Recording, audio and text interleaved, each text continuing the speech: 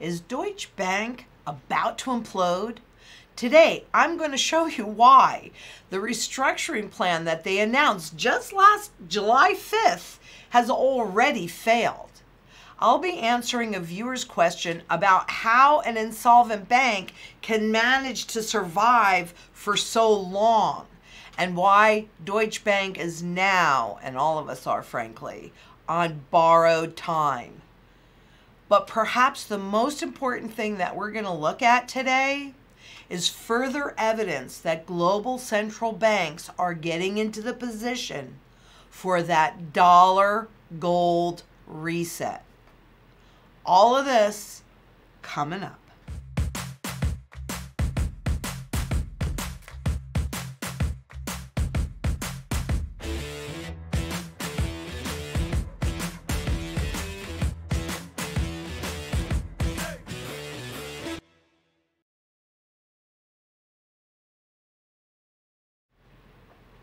I'm Lynette Zang, Chief Market Analyst here at ITM Trading, a full service physical precious metals brokerage dealer specializing in custom strategies to help you survive and, dare I say it, even thrive through the reset that has already begun.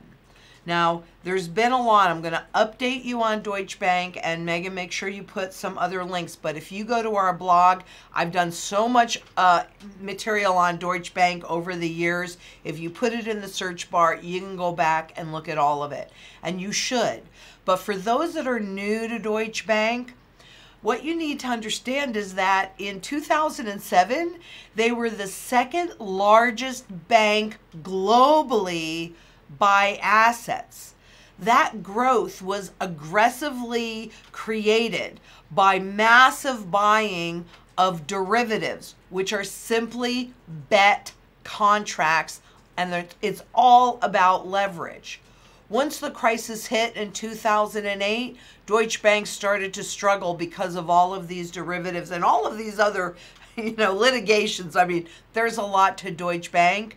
But now, since then, it's lost 90%, the stock has lost 90% of its value. So you could really say that Deutsche Bank has died. But there are reasons why central banks have to keep it together. And we're going to look at that today, and you can see that in many of the other videos. So recently, on the 5th of July, the last ditch effort, the last gamble to restructure the bank and have it viable. Frankly, it's a joke. You could just look at what's happened. Now, going to that viewer question on how uh, an insolvent bank can survive, one way are funding rounds that are funded by, it might look like individuals or other corporations or governments etc. But this cash was made very available by the Global Central Bank's quantitative easing program.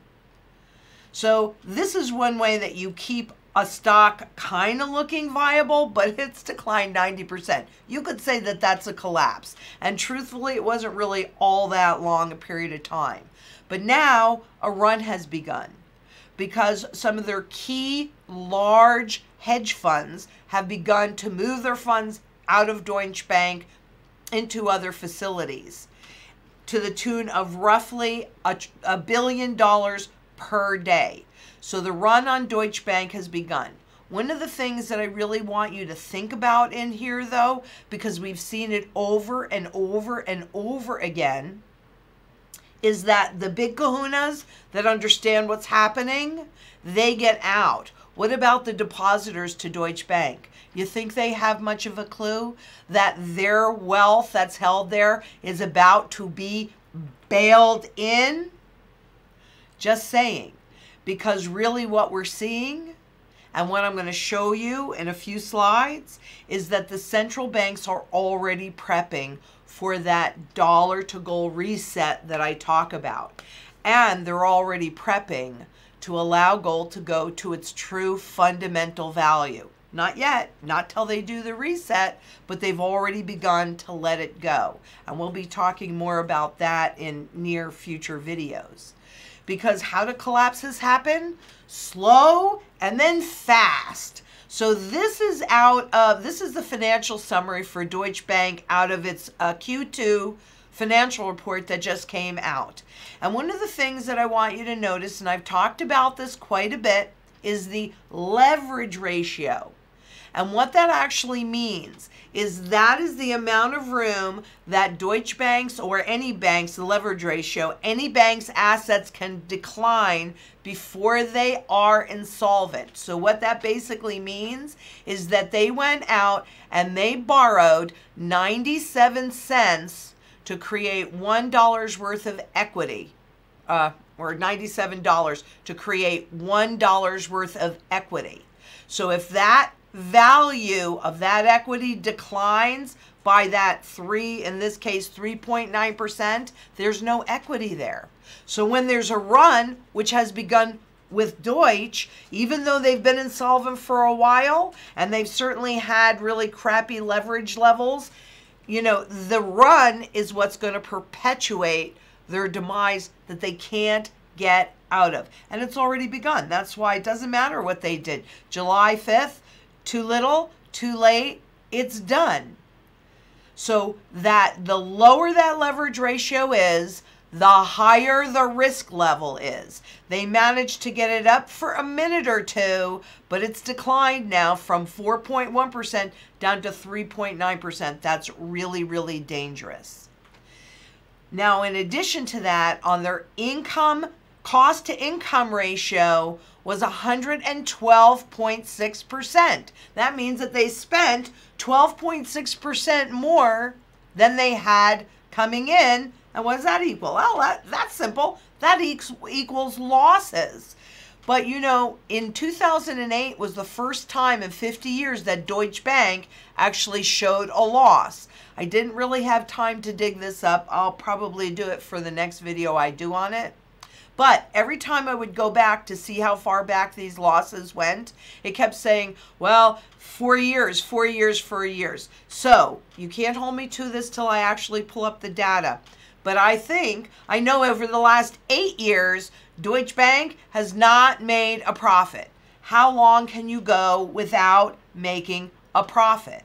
And this quarter's, the second quarter loss here, is the largest one going back to the first quarter of 2017. And they had losses in 17, 18, and for sure, looks like 19 as well. So I have to tell you, without any doubt in my mind, Deutsche Bank is a zombie company that has managed to stay afloat thanks to the good graces and all of the manipulations of the central bank easy money policy. And this, my friends, is why they can't change course. This is why they cannot raise interest rates, nor can they stop buying bonds, mortgage backed securities, stocks, for God's sakes. Why the central banks, the sovereign wealth funds, the governments have to support the markets and why it will drive us into first modern money theory, which is pure printing, which will bring on the hyperinflation. But we are super close because without one doubt in my mind, Deutsche Bank is holding on by a thread. And I'm not sure that they have the ability or the central banks even have the ability to hold that thread together because the problem really stems, goes back to those derivatives, which are just leverage bets. They're a cheaper way to play, but that's the way all of the banks have been making their money and that really started once they uh, once they shifted your in 95 they allowed the sweep accounts so that they could sweep whatever deposits you make into your savings account into your checking account into sub accounts and then they could use that. Shortly after they did that that was 95 But then, of course, we had the test of the speculative derivative market, and we're off to the races. It's much cheaper to buy a derivative, to buy an option, to buy a contract than it is to buy the underlying physical. And so that's the way the banks have made a lot of trading revenues. And we know that hasn't really worked real well for Deutsche Bank over this last year, especially considering those losses but let me show you what their derivative book kind of looks like. And I say kind of looks like for a couple of reasons. Number one, in 2013, they changed the formulas of how to account for these derivative contracts, and it's called compression and netting.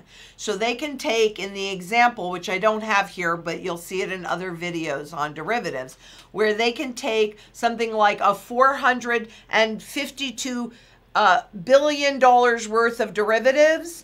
And by the time they wash it through all their accounting procedures, it comes out that it only has a risk value of nine.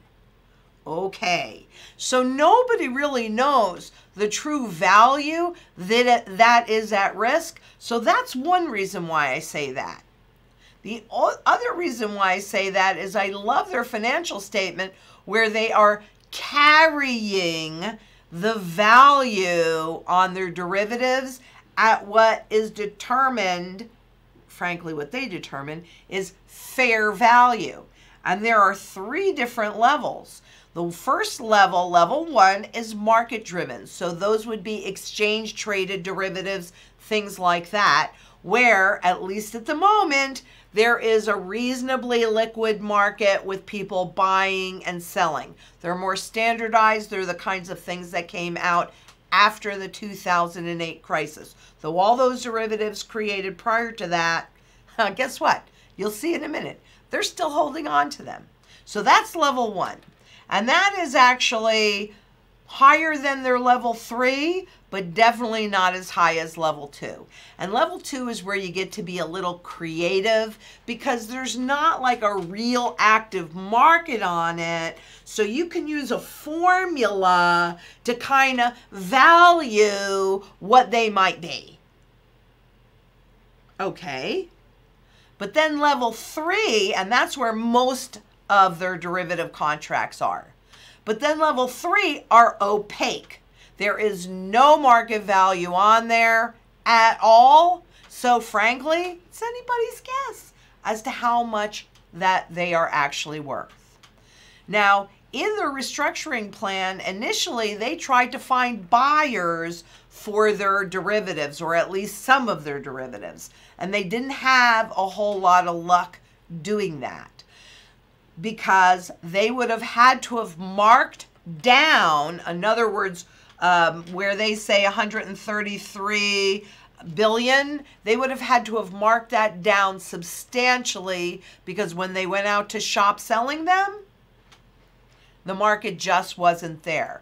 So, what they decided to do instead was to maintain their derivatives. Okay, we're not going to sell them rather than sell them at current market values, yeah, because then it would have been impossible to hide in how bad a shape to the normal person. The guys that are in the background, the guys at the top and the central banks, they already know how bad a shape Deutsche Bank is in but that would have made it a whole lot more public. So we do not want to write those down. We do not want anybody to know the true value or lack thereof of the derivatives that right now, hey, we get to say this is what it's worth. Now I'm going to start reading and then I'm going to pull up this other part because the speak is ridiculous. Okay, so uh, so Deutsche Bank says the metric we look at is how much capital we are freeing up from the capital release unit. So this is a new bad bank unit that they're setting up.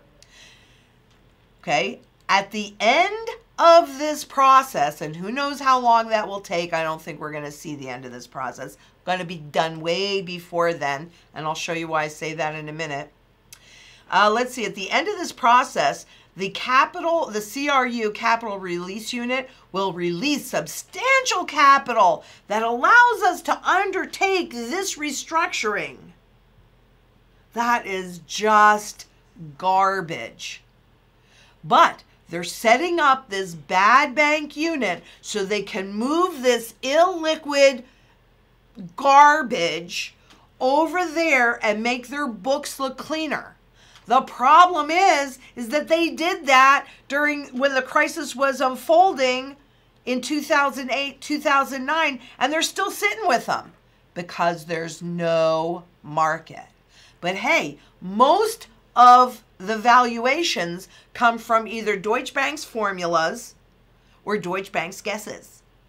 Oh, okay, I trust that. How about you? How much litigation do they have? Tons and tons and tons. They have made so many mistakes. But that's what I say. It, it's dead in the water. It is an absolute joke. The likelihood of them being able to go out and issue stocks and generate another funding round to keep them going. I think uh, investors, and that could even be the central bankers, are getting really tired of it because they know that at best, at best, it is a short term stopgap measure. And the question is, what are they going to do? Going back to that viewer question, thank you, IMF. I love the IMF in so many ways. Some ways I really can't stand them. But I love their working papers. They just came out with this yesterday. How perfect was that last night? Public interventions in the financial sector. That is banks being bailed out. And that would certainly include Deutsche Bank, but frankly, it includes all of them. And you can see this starts in 2007, and the most current data, even though they just pulled this up, was 2017. And frankly, there was a pretty big difference between 2016 and 2017. 2017, they bailed out 16 banks. Well, what does that look like? Because, hey, who cares about the bailing out? Well, first of all, you and me, taxpayers, we're responsible for that. But, you know, you've seen and been watching the um, key central bank balance sheet. This one is what? The Fed, the ECB, and the Bank of Japan. So, you know, will they do more QE? Of course they will. They don't have any other tools. Will they do negative rates? Of course they will. They're setting up for it. We've been watching all of these pieces go click, click, click, click, click. Used to happen more slowly. It's not happening so slowly anymore. And that is a big, huge trigger that should tell you that this crisis is very, very, very, very, very, very near. Because, boy, I, you know, I can't even do anything light these days. So, will they print more? Absolutely. Will it save us? No, it will not. It won't save the system, and therefore, particularly if you're in that system, it will not save you. It will not. Because Deutsche Bank is connected to every single financial institution on the planet and has their finger in every single financial product that exists. You see how it's connected, whether it's the US, Europe, or Asia, and then all those little gray lines. We've looked at this before. Thank you, IMF, for that fabulous chart to show how everybody is incestuously intertw- intertwined and not in a good way. And this is why they've had to prop it up. But you know, you get to a point where you just can't do it anymore. And it really does look like we're very, very close to that. But now I want to show you something that really is super important. Because in 1993, the Federal Reserve discussed the opportunities that could present to break psychology if they manipulated the gold price. If the gold price broke in that context, the thermometer would not be just a measuring tool, right? Measurement of the fiat money. it would basically affect the underlying psychology. Oh, gold never goes up. Oh, it's just an old, you know, relic. Who cares about it? So in 1993, uh, actually, even before this, but here is an outright statement from Alan Greenspan. Anybody can go into the federal um, FOMC meeting minutes, so the Federal Reserve meeting minutes, and read it for themselves. It took a minute, but they came out in 99 with the Central Bank Gold Agreement, CBGA, where they coordinate their gold sales. Isn't that nice? But guess what just happened on the 26th of this month? So just a couple days ago. Well, the every 4 years they have to renew the agreement and they're no longer going to renew it because the market has matured. Market's been around for 6,000 years. It's a much older market than any of the other markets that are frankly out there. So that is just a garbage excuse. But they made sure to confirm that gold remains an important element of global monetary reserves. Yeah. And none of the central banks that are part of this agreement have any plans to sell any significant amounts of gold. So, what did that look like? Well, this is when they first came out with the agreement, and these bars are the gold sales that they did. And you can see how in 2008, when spot gold was plunging, dropped 32, 35%, look at that spike in selling. But boy, look at how that dropped off and virtually no selling after that. Virtually none. This this particular graph from the ECB, follow the links. You can read the report. You can follow you can look at these graphs on their site from the ECB shows you what gold what central bankers think about gold. Hmm, not such a worthless relic, I'm thinking. Because they, we know this, they've accumulated more gold over the last rolling four quarters than the highest levels that they have going back to when the World Gold Council started tracking this. So they're accumulating at the same time that, boy, they are not letting it loose. They're not selling it anymore. Now, why can they control the um, derivatives? Because that's $110 to control 500 physical ounces. Cheap, easy. Hey, they don't even have to go out and work for it. They can push a button and create it. So they are accumulating the physical at the same time that they are manipulating the intangible and manipulating with Wall Street products. That goes back to my daddy. Thank you very much. Do as I say and not as I do. Doesn't work. They don't want you to protect yourself at the same time that they are clearly protecting themselves. Clearly. The choice is up to you, but I'm telling you, all of this stuff, I mean, there was a time when I had to hunt out what was going on, what was I going to talk about. I had more time to go into teaching and things like that.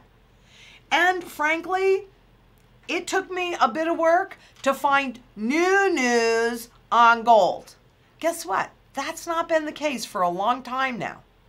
Things are happening fast and furious. How does a bankruptcy happen? How does a collapse happen? How does a crisis happen?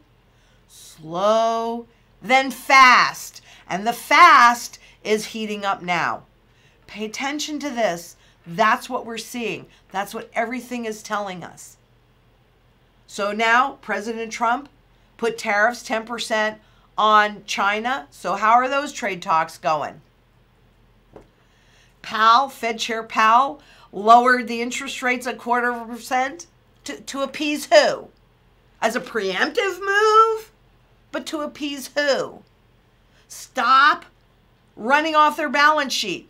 That means that they cannot allow the garbage that they bought to mature. They have to take the principal and the interest and reinvest it to keep the treasury market supported, to keep the mortgage backed market supported, even though they've been doing that one real, real, real, real well.